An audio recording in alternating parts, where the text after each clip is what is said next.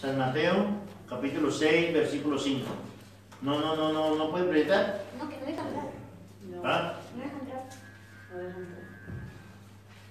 Bueno, eh, vamos a estar todos de pie, tengan la bondad. Amén. Vamos a leer la palabra del Señor. Amén.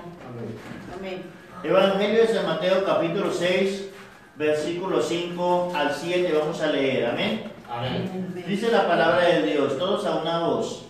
Dice, cuando oréis, no seáis como los hipócritas, porque ellos aman el orar en pie en las sinagogas y en las esquinas de las calles para ser vistos de los hombres. De cierto os digo que ya tienen su recompensa. Mas tú, cuando ores, entra en tu aposento y cerrada la puerta, ora a tu Padre que está en secreto, y tu Padre que ve en lo secreto te recompensará en público. Amén. Y orando, no uséis vanas repeticiones como los gentiles que piensan que por sus palabrerías serán oídos. Vamos a orar que el Señor Jesucristo hable en nuestras vidas conforme a nuestra necesidad. Amén. Padre Santo, eterno y soberano Dios de los cielos. En esta tarde invocamos tu nombre santo y poderoso, Señor Jesús. Y te pedimos, bendito Rey de los cielos, que seas tú obrando poderosamente, hablando a tu iglesia, Señor, conforme a nuestra necesidad. Te pedimos, Señor Jesús, que seas tú en esta tarde, Padre Santo, hablando, Señor, a cada uno de nuestros corazones, conforme a nuestra necesidad, conforme a tu propósito santo y divino. Te pedimos, Señor Jesús, que seas tú en esta tarde, dirigiéndonos con el poder de tu Espíritu Santo, que todo lo que hagamos, Señor, sea para gloria, honra y alabanza de tu nombre santo y divino. Usa mi vida y bendice tu iglesia conforme a tu santa voluntad. Te lo pedimos en tu nombre, Señor Jesús. Amén, amén, amén. Gloria a Dios. Démosle una alabanza, Señor. Jesús. Gloria a Dios. Gloria a Dios. Pónganse cómodos que la bondad. Amén. Gloria al Señor. Amén, amén. Bien, amados hermanos, vamos a, a hablar hoy de la oración. Amén. Amén. Eh, la oración, un diálogo con Dios. Amén. Amén. Gloria en nombre del Señor Jesús. Amén. Aquí estaba enseñando el Señor Jesucristo con respecto de la oración y decía, cuando oréis, cuando oréis, no, se- no seáis como los hipócritas, porque ellos aman el orar en pie en las sinagogas y en las esquinas de las calles para ser vistos de los hombres. De cierto os digo que ya tienen su recompensa. Mas tú cuando ores, entra en tu, en tu aposento y cerrada la puerta, ora a tu Padre que está en secreto. Y tu Padre que ve en lo secreto te recompensará en público. Amén. Y orando, no uséis vanas repeticiones como los gentiles que piensan que por sus palabrerías serán oídos. Gloria al Señor Jesús. Amén. La oración es la única manera de nosotros poder comunicarnos con Dios. Amén. Amén. Es la única forma que hay de hablar con Dios, de poderle decir a Dios lo que tenemos en mente, lo que, lo que pasa con nuestra vida. Y la oración es la única manera de engrandecerle a Él, de reconocerle como nuestro Dios. Sin la oración no hay manera de dirigirse a Dios porque usted lo que hace en la oración es lo que supuestamente hace la religión tradicional que es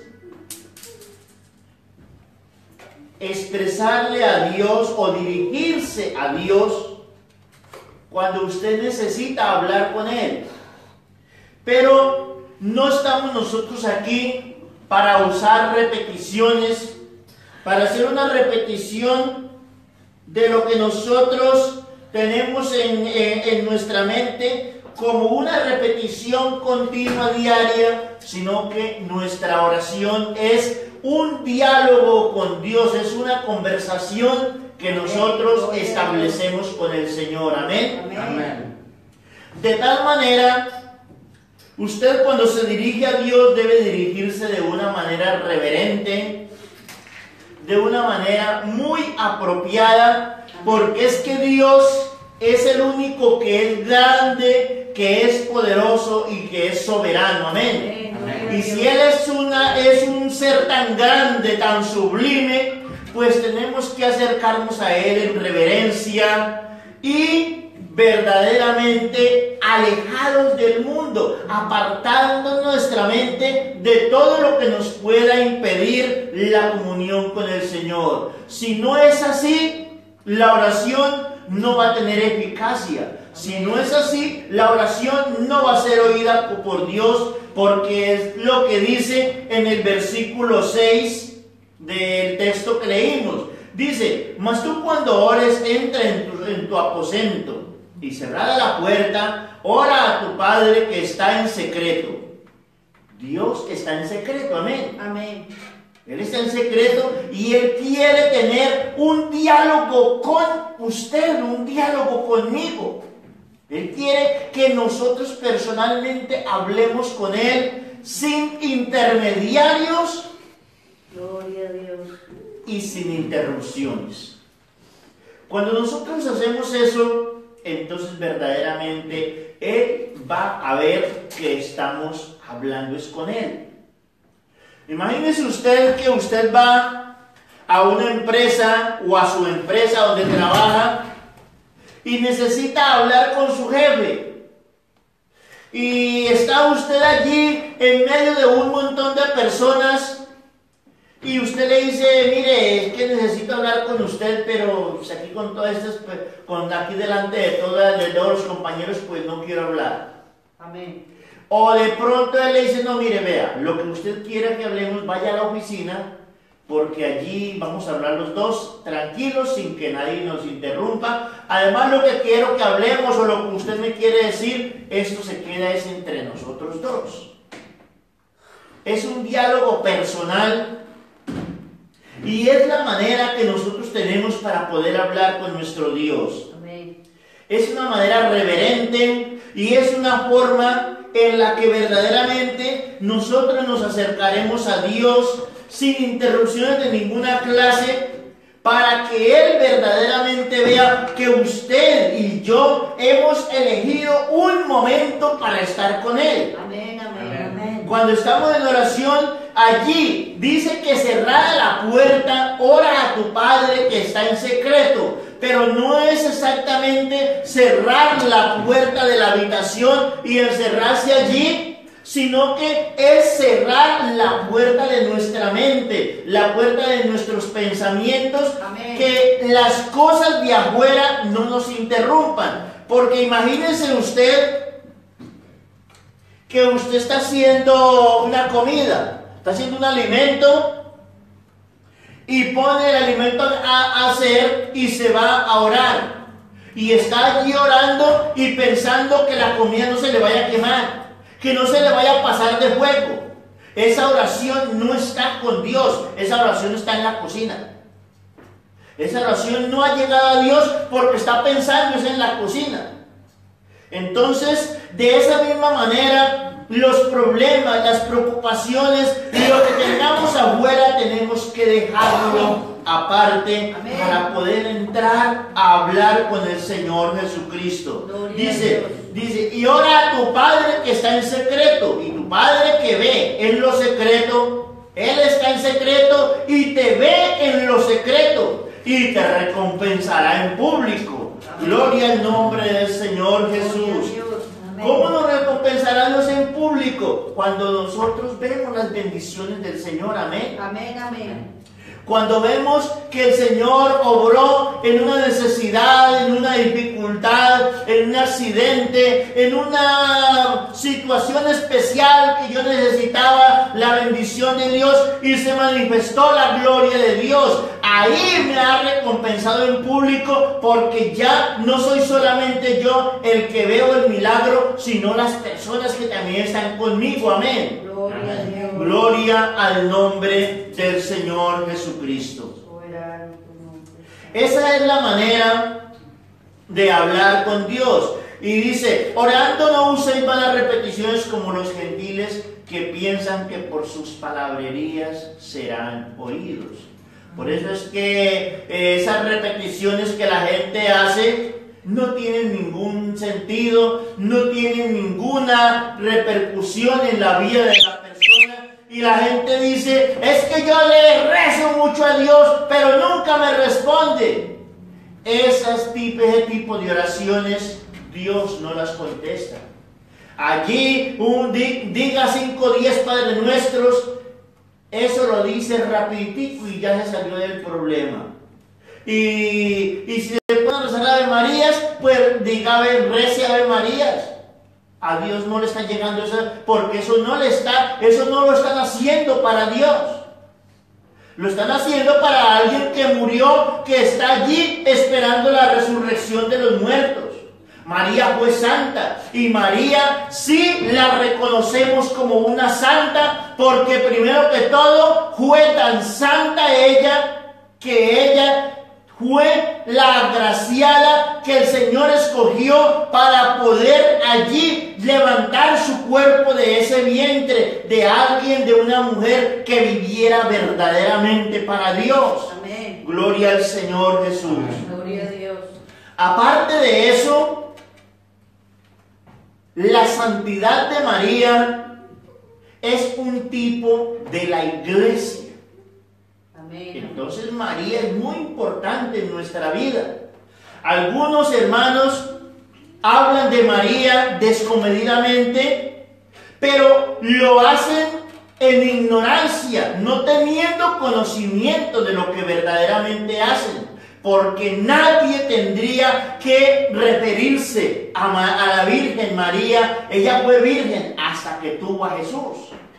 Amén. La, la palabra de Dios dice que José no conoció a María hasta el alumbramiento de Jesús. Amén. Amén. En el momento que ella tuvo a Jesús, de ahí para adelante José la conoció. ¿Qué quiere decir que la conoció? Que él tuvo relaciones con ella como su esposa y tuvo más hijos. Amén. Pero ella siguió siendo una mujer santa. Amén. Amén.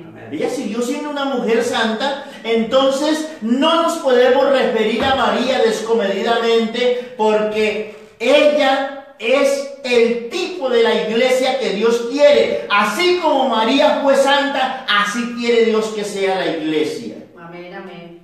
Esto lo digo porque, claro, he tocado el tema de María, pero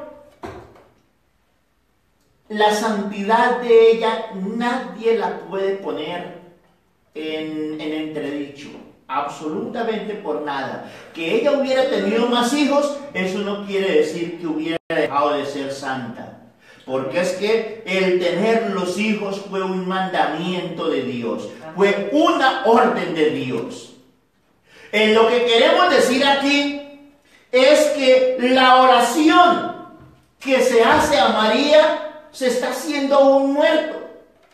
Porque ella murió y está esperando la resurrección de nuestro Señor Jesucristo. Así como ella está esperando la resurrección del Señor Jesucristo cuando Él levante su pueblo en la primera resurrección, los que van a tener parte en la primera resurrección van a estar con Él en el reino de los cielos, en las bodas del Cordero. Lo mismo que todos los hermanos nuestros que han muerto con la esperanza de la salvación, que han puesto su vida en las manos del Señor. Entonces las oraciones nuestras tienen que ir es al que da la vida. Amén. Amén. A nadie más pueden ir las oraciones. Solamente el que da la vida Y el que se levantó al tercer día de entre los muertos, Él es el único digno de honra, Él es el único digno de gloria, Él es el único digno de alabanza y de exaltación. Y Él es el único que responde nuestras oraciones. Amén. Amén. Gloria al Señor Jesús. Amén. Número uno, una condición para que Dios escuche esa oración. Hay que tener humildad, hay que tener sencillez de espíritu. Y eso se demuestra no en público, eso se le demuestra a Dios. En público también sale esa humildad, esa sencillez, esa mansedumbre, también luce en público. Pero la persona que ha aprendido a humillarse delante de Dios, entonces aprenderá a vivir en público también en humildad y en mansedumbre. Muchas personas se humillan ante el mundo, pero porque hay otros intereses, porque hay personas de pronto más, más pudientes o tienen más poder o le tienen miedo por alguna cosa y se humillan a esa persona. Esa humillación, eso no vale de nada. Pero la persona que aprende a humillarse delante de Dios, aprende a ser humilde y sencilla ante las personas que le rodean. Gloria a Dios. En el versículo 17 del capítulo 6 de ahí de San Mateo, Evangelio de San Mateo capítulo 6, versículo 17 dice, pero tú cuando ayunes unge tu cabeza y lava tu rostro, para no mostrar a los hombres que ayunas, sino a tu Padre que está en secreto. Amén.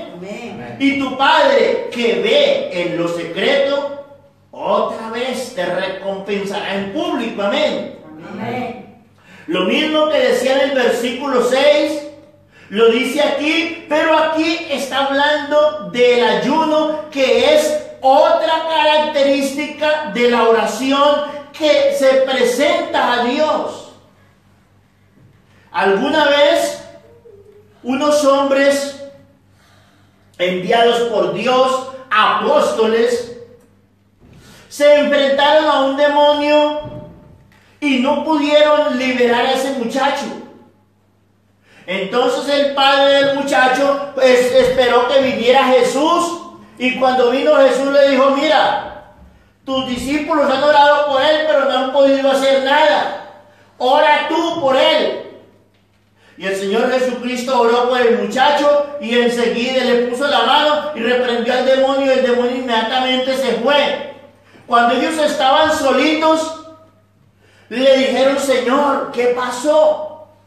¿Por qué nosotros hemos quedado avergonzados delante de la gente? Y el Señor Jesucristo les dijo, un- les dijo dos cosas. Por vuestra falta de fe. Amén. Y segundo les dijo, este género no sale sino con ayuno y, Oración. y oración. Amén. Este género no sale sino con ayuno y oración. Entonces, la oración va de la mano del ayuno o el ayuno va de la mano de la oración. Amén. Una vida de sola oración no va a tener verdadero poder delante de Dios. Pero una vida llena de ayuno está ya acompañada de la oración porque no se puede hacer un ayuno a no ser que sencillamente diga no voy a comer hoy. Pero cuando es una vida que está viviendo a nivel espiritual, una vida que se está haciendo para Dios, entonces cuando se hace un ayuno es porque se sabe que hay que estar allí metido en oración delante de la presencia del Señor. Y otra vez dice lo mismo que dice en el versículo 6, pero tú cuando ayunes, unge tu cabeza y lava tu rostro. O sea, no estáis mostrando de que estabas ayunando. No estáis mostrando de que estás con, de que estás con hambre, de que estás allí. No. Unge tu cabeza y lava tu rostro con agua para que la gente no vea que estabas allí en una situación especial y ¿qué estabas haciendo? Ah, es que estaba, ah, sí, ya lo has puesto en público. Ya lo has puesto en público. Dice, para no mostrar a los hombres que ayunas, sino a tu Padre que está en secreto. Amén. Amén. Solamente tu Padre que está en secreto. Y tu Padre que ve en lo secreto te recompensará en público. Amén. Gloria al nombre del Señor Jesús. Amén. Una vida que verdaderamente se humilla a los pies del Señor, donde verdaderamente reconocemos que nos ponemos es a los pies del Señor Jesucristo, donde verdaderamente reconocemos que nos ponemos es en la presencia de Dios. Por eso cuando se hace un ayuno, se viene a la iglesia y aquí estamos todos nosotros en ayuno, en la presencia de Dios. Aquí está su iglesia apartada del mundo, apartada de los quehaceres, apartada de cualquier preocupación, únicamente en la presencia del Señor Jesucristo. Gloria a Dios. Démosle una alabanza al Señor Jesús. Gloria a a Dios. Gloria a su santo nombre. Número dos, promesas hechas por Dios. Cuando nosotros aprendemos a estar en la presencia de Dios, alcanzamos las promesas que Él nos ha hecho. Amén. Amén. Alguna mujer se acercó a Jesús y le dijo, Señor, mi hija está gravemente atormentada ¿eh? por un demonio, ora por ella. Y ella clamaba y daba voces, y daba voces y daba voces, hasta que lo último los discípulos le dijeron, Señor, échala. Dile que se vaya si no le vas a prestar atención. Porque da voces tras nosotros. Está gritando desesperada detrás de nosotros. ¿Cuánto se humilló esa mujer en público? Todo el mundo allí la vio humillada.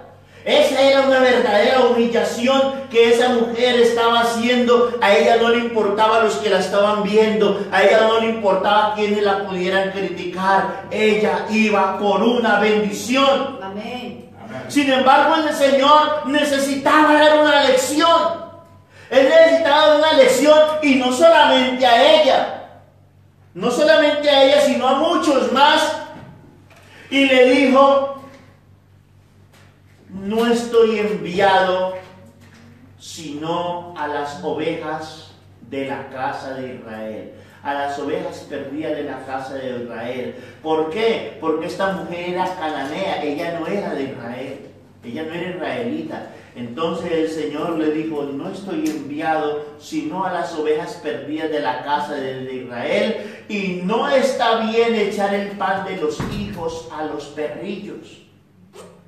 Ella se humilló. Amén. Ella se humilló tremendamente y por esa humillación alcanzó también la bendición de Dios. Pero es que las bendiciones de Dios son para los que Dios recibe por hijos. Amén. Gloria a Dios.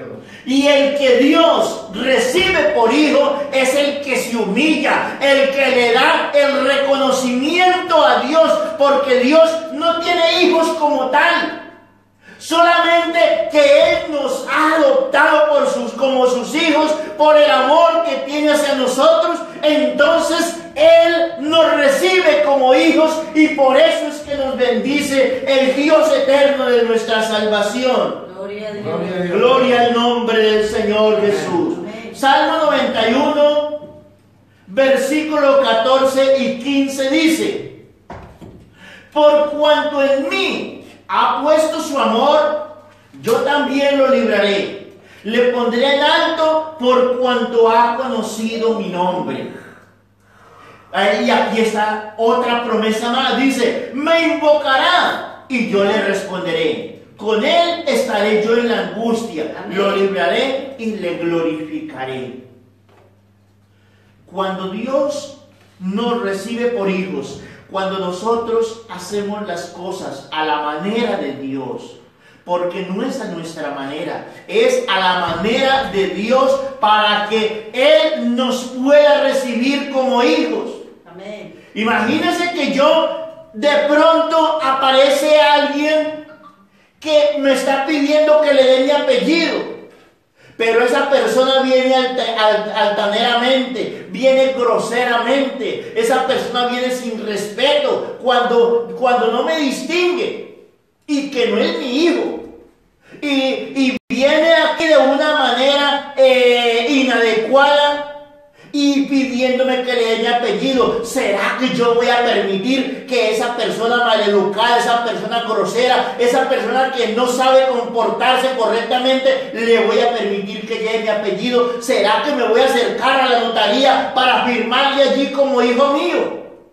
Nunca, nunca, no lo haré. Amén. Tendrá que venir esa persona y demostrar que me respeta, que me va a respetar como su padre, porque es que a un padre se le respeta, a un padre se le quiere, ¿eh? A un padre se le honra, pero ¿cómo se honra a un padre? O se honra a un padre no haciéndolo quedar mal. Cuando yo me porto mal, hago quedar mal a mi padre. Cuando yo me comporto de una manera inapropiada, según las normas de la sociedad, mi padre está quedando mal. Porque dirá ese hombre, mire lo que le enseñó su padre. Y tal vez no sea así. Sencillamente no quise obedecer lo que mi padre me enseñó. Pero estoy haciendo quedar mal a mi padre porque estoy comportándome de una manera eh, no adecuada delante de la sociedad, por lo cual me están criticando. Y están diciendo, vea, ese, eso fue lo que le enseñaron en casa, eso fue lo que su padre le enseñó y por eso él es así. Por eso tenemos que honrar a nuestro Padre Amén. honrar a nuestro Dios, darle a Él toda la reverencia, toda la honra, toda la gloria, ser obedientes a su palabra. Porque nosotros no nos vamos a acercar a Dios a la manera nuestra, como nosotros queramos. Nosotros nos equivocamos en todo lo que hacemos. En todo lo que nosotros hacemos nos equivocamos, pero nuestro Dios, Él ha establecido unas normas por las cuales el hombre se puede acercar a Dios, unas normas por las cuales el hombre puede alcanzar la bendición de Dios, unas normas aquí en la Biblia escritas sin las cuales el hombre no puede acercarse a Dios. Hay que vivir una vida santa, hay que vivir una vida apartada del pecado, hay que vivir una vida verdaderamente como hijo de Dios. Para poder que Dios le escuche, para poder que Dios lo reciba como hijo. Y cuando se vive esa vida de acuerdo a la palabra de Dios, entonces dice, por cuanto en mí ha puesto su amor, yo también lo libraré.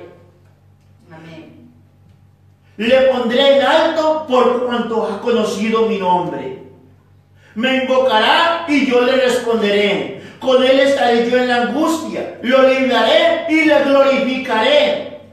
Esas son bendiciones que Dios tiene para darnos cuando nosotros le reconocemos a Él como Dios. Alabanzas al nombre del Señor Jesús. Amén. Isaías capítulo 65, versículo 24 dice, y antes que clamen responderé yo, mientras aún hablan, yo habré oído. Amén. Dios no está ocupado. Dios no está ocupado resolviendo el problema de allí de mi vecino y hasta que le solucione al vecino, entonces va a venir a solucionarme a mí. ¿Cómo haría Dios para recorrer el mundo entero haciendo favores por turnos? Él en este mismo instante tenga usted la plena seguridad que está haciendo milagros en diversos lugares del mundo. Gloria a Dios. Gloria a Dios, Padre.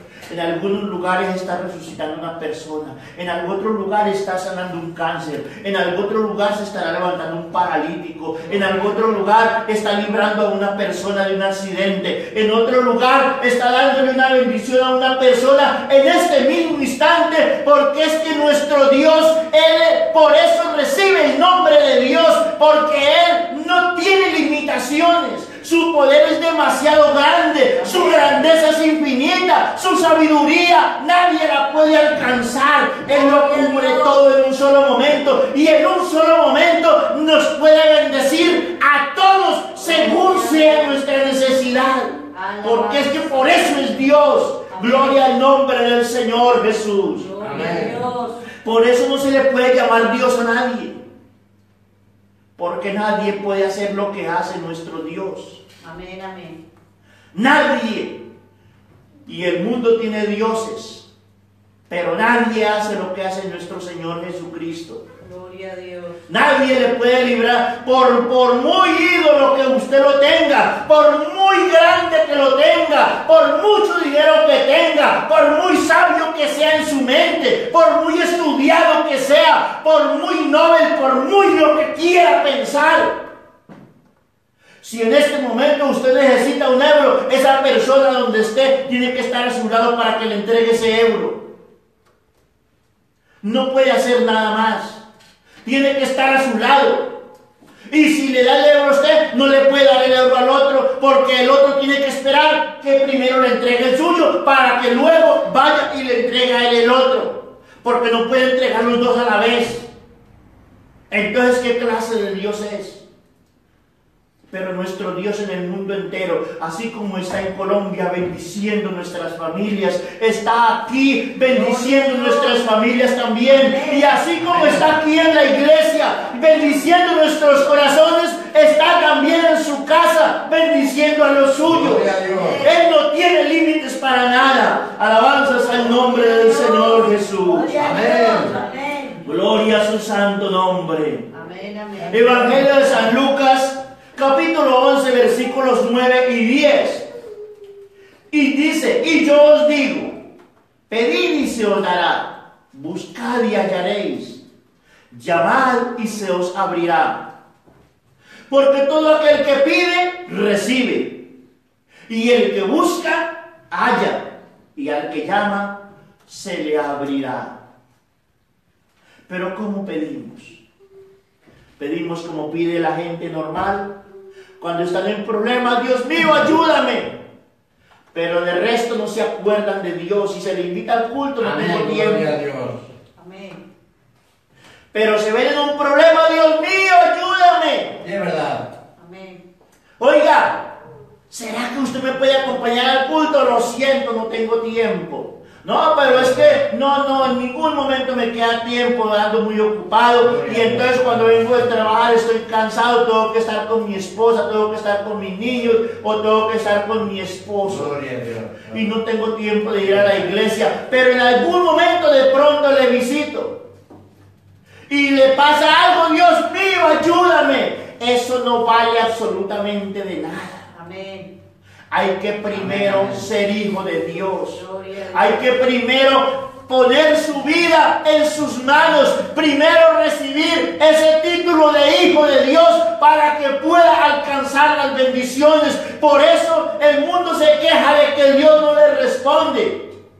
Y muchas veces ocurre que Dios sí le responde.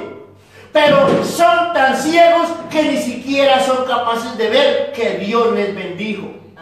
Y entonces le llaman suerte, tuvo suerte. Y tuve suerte. Y la suerte es un juego de azar que se tira así. Cuando fue Dios el que les bendijo. Por eso Dios poco bendice al mundo, porque el mundo no reconoce a Dios. Y Dios no tira el pan a los perros, ni tira las perlas a los cerdos.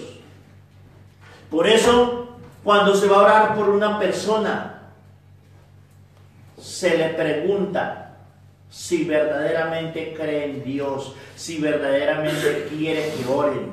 Va uno a una casa, una persona enferma. Es que yo quiero que oren por mi, por mi padre, por mi hermano, por mi hijo, por mi hija, por mi madre, por mi esposa, por mi esposo. Y va uno a la casa y va y se encuentra con la persona allí necesitada ¿Usted cree que Dios puede sanarle? ¿Usted cree que Dios le puede ayudar? No, yo no quiero creer, yo no creo en eso. No, pero ore por él. No se puede. No se puede. La palabra de Dios dice, no echéis las perlas a los cerdos. No sea que las pisoteen y se devuelvan y os pedacen. Estas bendiciones son para los que reconocen a Dios. Amén. Para el que verdaderamente reconoce la grandeza del Señor Jesucristo. Gloria a Dios. Y por último, aceptar la voluntad de Dios. Amén. Señor, yo necesito que me sanes. Yo necesito que me des este milagro. Yo necesito esta bendición que estoy necesitando para salir de este problema. Pero como yo quiero, no como tú. Y así, ese hijo está haciendo quedar mal a su padre. No se está comportando humildemente. Amén. No se está dirigiendo a su padre con respeto está siendo altanero, está siendo atrevido, está siendo irrespetuoso y de esa manera no se puede acercar a Dios. Salmos 143, versículo 10. Salmos 143, versículo 10. Dice, enséñame a hacer tu voluntad Amén. Gloria a Dios. ¿Cómo se demora para salir el texto en, el, en la pantalla? Eh? Enséñame a hacer tu voluntad, porque tú eres mi Dios. Tu bien, tu buen espíritu me guíe a tierra de rectitud. Amén. Amén. Enséñame a hacer tu voluntad. Y así dice la oración del Padre Nuestro, pero la oración del Padre Nuestro no es para repetirla como muchos tienen por costumbre de repetir esa oración. Yo soy cristiano, vivo para Dios, quiero vivir para Dios. Pero cuando yo tomo esa oración, en mi momento que estoy allí, en la presencia de Dios, no le, no le alcanzo a decir ni la mitad de esa oración. No le alcanzo a decir ni la mitad, así esté dos horas allí de rodillas. Porque la oración del Padre nuestro es un modelo de oración. Padre nuestro que estás en los cielos, santificado sea tu nombre. Venga a nosotros tu reino. Hágase tu voluntad como en el cielo, así también aquí en la tierra. El pan nuestro de cada día, dánoslo hoy. Y perdona nuestras ofensas, así como nosotros perdonamos a nuestros deudores. Y no nos metas en tentación, mas líbranos del mal hay una serie de áreas ahí por las cuales hay que detenerse en cada una de ellas a clamar a Dios, a orar a Dios, a engrandecerlo. Esa oración empieza dándole a Él la gloria. Padre nuestro que estás en los cielos. Y deténgase un rato ahí a darle la gloria, a engrandecerle, porque es que Él es grande y se lo merece.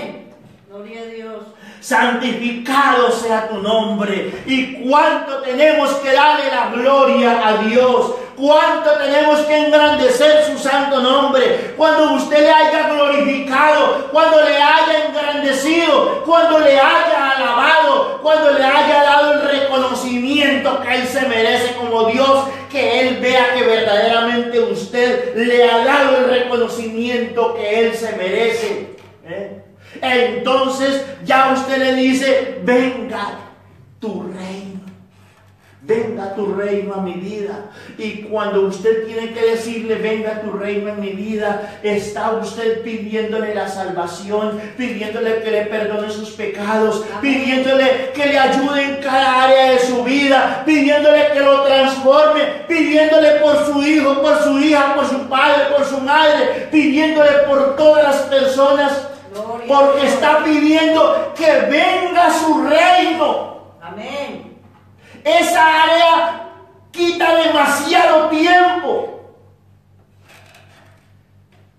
Si yo sigo explicando lo que tarda, el- lo que es la oración del Padre nuestro, ahorita ya nos acabó el tiempo hace rato. Ya no hay tiempo para eso. Pero la voluntad de Dios, que la voluntad de Dios se haga en nuestra vida, aceptar la voluntad de Dios. Señor, sane a mi pariente, a mi hermano, a mi amigo, sánelo, Señor. Pero si es tu santa voluntad, Sí, amén. si no es tu voluntad sanarlo, si no es tu voluntad permitirle que siga viviendo, que se haga tu santa voluntad, que yo no me voy a enfadar por eso. Que yo no voy a decir que tú no me respondiste, Señor. Que, que vi que tiene un dolor, Señor. Si tú quieres, puedes sanarle, Señor. Pero que se haga tu santa voluntad. Amén. Y si Dios no quiere sanarle y toca llevarlo al hospital para que los médicos obren, que se haga la voluntad de Dios, pero yo no me voy a poner a reclamarle a Dios, Señor, usted podía sanarlo porque yo sé que usted tiene poder. Usted podía sanarlo, Señor, porque yo sé que usted también resucita a los muertos. ¿Por qué no lo sanó, Señor? Es que Dios no me oyó. Dios sí me oyó, porque dice, estuvimos leyendo un texto anterior que dice, y antes que clamen a mí, ¿qué? Antes que clamen a mí, yo habré oído y habré respondido. Amén. Gloria al nombre del Señor Jesús. Amén. Dice en Isaías 65, 24, y antes que clamen responderé yo. Mientras aún hablan, yo habré oído. Gloria a Dios. ¿Eh? Antes que clamen a mí. ¿eh? Antes que clamen, responderé yo, dice el Señor.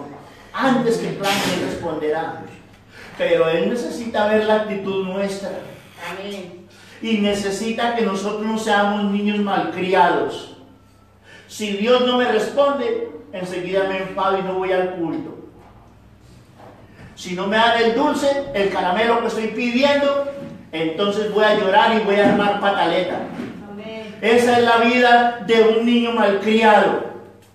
Y resulta que al niño no se le podía dar el dulce, el caramelito ese no se le podía dar porque es que le va a hacer daño. Pero el niño se enfada. Pero él es un niño. Estamos hablando de un niño que todavía no tiene conocimiento de, de- de reaccionar cuerdamente. Pero nosotros, aunque Dios nos pide que seamos como niños, ya somos adultos y nuestra mente ya se ha desarrollado y no podemos ser niños ante las peticiones de Dios, ante las respuestas de nuestro Dios. Gloria a Dios. Nosotros le pedimos, Él responde como Él quiere. Gloria a Dios. Él responde de la manera que él, qui- que él estima conveniente porque Él sabe qué es lo que es bueno para nosotros. San Mateo capítulo 26, versículo 42.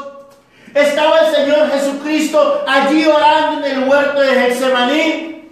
En el momento en que iba ya a ser aprendido por, por la guardia romana, por los soldados, y él sabiendo lo que le iba a pasar a su cuerpo. Porque nosotros tenemos que saber, y esto viene de Dios, esto no viene de los hombres. Por más que yo intente enseñarle, explicarle, yo le dejo el conocimiento. Amén. Pero la revelación viene del cielo, la revelación viene de Dios. Y cuando viene la revelación de Dios es cuando yo entiendo. Cuando la revelación viene de Dios es cuando yo verdaderamente comprendo lo que está ocurriendo. Amén. Dios se comportó como Dios en el cuerpo de Jesús. Dios se comportó como hombre en el cuerpo de Jesús. Amén. Y Dios se comportó como espíritu, bendiciendo y derramando de su gracia divina. Pero Él solo tiene manifestaciones. Se manifiesta como Padre, se manifiesta como Hijo y se manifiesta como Espíritu Santo. Gloria a Dios. Alabanzas al nombre del Señor Jesús. Amén. Allí estaba Jesús orando y ahora toma posición de hombre. Allí toma posición de hombre, pero él como Dios se levantó de entre los muertos. Allí no se levantó de entre los muertos como hombre, se levantó de entre los muertos como Dios. Pero como hombre estaba allí clamando en el huerto de Getsemaní y dice, otra vez fue y oró por segunda vez diciendo, Padre, Padre mío, si no puede pasar de mí esta copa sin que yo la beba, hágase tu voluntad. Gloria a Dios. Y no era que Dios había mandado al Hijo a que muriera. Porque si ese es el Padre que yo tengo que mandó a su Hijo a que muera, un día de esto me manda también a mí a que me maten. Él mismo llevó nuestras enfermedades, dice, dice el profeta Isaías. Él mismo sufrió nuestras dolencias y se cargó toda la culpa nuestra. Alabanzas a su nombre. Amén. Si es posible, pase de mí esta copa. Pero si no, que se haga tu santa voluntad. Amén. Otra vez fue y oró por segunda vez diciendo, Padre mío, si no puede pasar de mí esta copa sin que yo la beba, hágase tu voluntad. Amén. Él no podía permitir que esa copa pasara. No podía pasar. Pero ese cuerpo sabía lo que venía. Sin embargo, ese cuerpo se sujetó por completo. Amén. Él se despojó de todo su trono de gloria, no teniendo en su grandeza el ser igual a Dios como cosa a que aferrarse, sino que se despojó de su grandeza y se hizo hombre igualito a nosotros. Y en esa condición de hombre se humilló hasta la muerte. Y Amén. dijo, si no puedo pasar esta copa sin beberla, hágase tu voluntad. No importa que sea difícil. No importa que el momento que se esté presentando sea un momento doloroso, pero por encima de todo que se cumpla la voluntad de Dios, porque la voluntad de Dios es perfecta y agradable a todas nuestras vidas. De pronto vendrá un momento en que esa voluntad de Dios no nos es agradable, pero llegará otro momento en que entenderemos que así tenía que ser y cuando entendemos que así tenía que ser, será agradable a nuestra vida. Amén. Gloria al nombre del Señor Jesús. Estemos de pie, tengan la bondad. Que el Señor Jesucristo nos ayude. Que Dios nos dé entendimiento, que nos dé conocimiento para